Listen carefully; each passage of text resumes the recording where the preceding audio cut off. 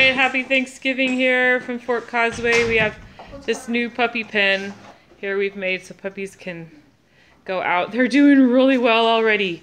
They go out, go to the bathroom. They are five weeks old. We don't have their collars on right now, but um, so I'm not sure who is who. But we have our puppy out there who likes to be outside. Is that the boy? No, that's um. Cinnamon. Oh, okay.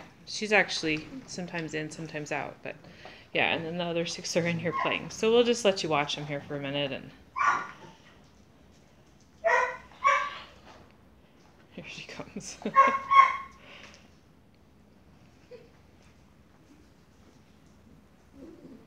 Typical Newfie. Ours like to stand half in, half out of the doors. Drives us crazy, but they're a lot of fun. It's nice and cool out, so.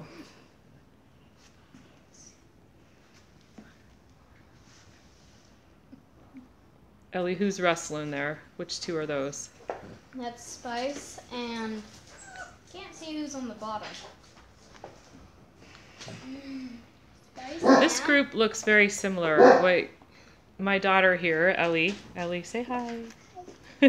There's about the only one who can tell them apart. Usually we're doing better by this time, but Spice and Ginger. Spice and. Ginger, okay.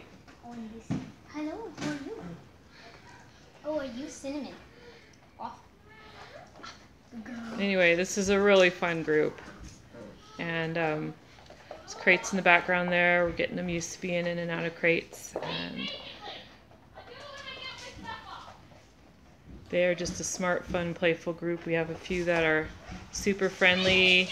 Uh, blue collar, pink collar are really active, energetic ones. They all are playful at all different times, but and then the other females are very laid back, and our boy, our male, is probably the most laid back of all. He's a nice boy. So, anyway, that's puppies. Sorry for the background noise. We'll sign off. Happy Thanksgiving!